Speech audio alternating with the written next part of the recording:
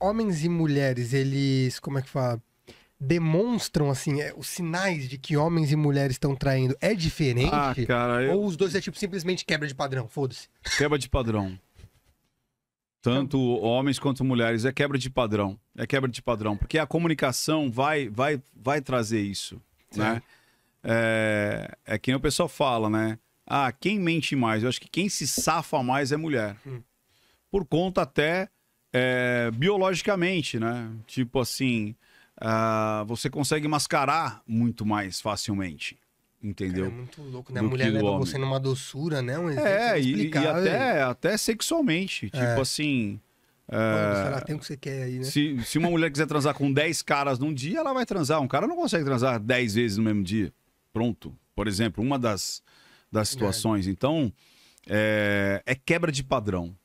Praticamente é quebra de padrão. A gente consegue dar uns exemplos, por exemplo, pra galera, tipo, o que que é quebra de padrão? Quebra de a galera mais padrão é leiga do, porque, do, do assim, que a- caiu a de paraquedas aqui. Ela. É, porra, ela chega em casa e ela fala pouco. Ah, normalmente ela fala pouco tal.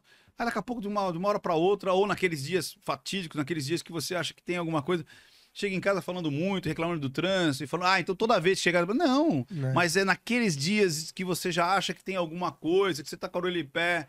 É, ou ao contrário, a pessoa chega sempre falando, se aquieta.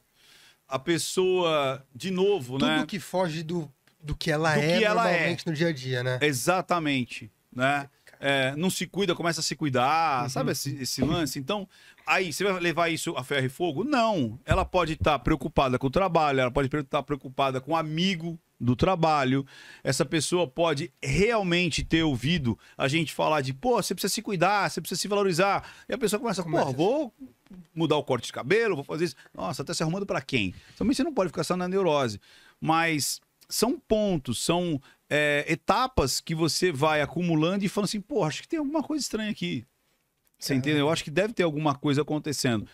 Pode ser nervoso? Pode. Pode ser uma preocupação até com terceiros? Pode. Pode ser que tá escondendo alguma... Pode. Entendi. Entendeu? Então não, você não pode ter a certeza. Eu sempre falo, linguagem silenciosa não é determinante Sim. mas ela é a base para você começar a pesquisar.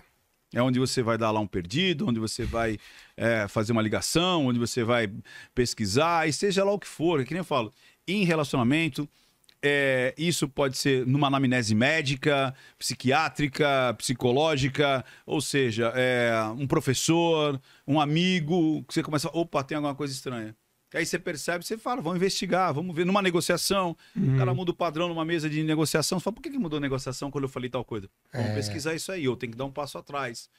Talvez ele não está sendo honesto em relação a tudo que Aquilo a que- gente. É, entendeu? Você acaba de assistir a um corte. Para você acessar o conteúdo na íntegra, o link está nas descrições. E para você não perder nenhum bate-papo, inscreva-se agora no canal.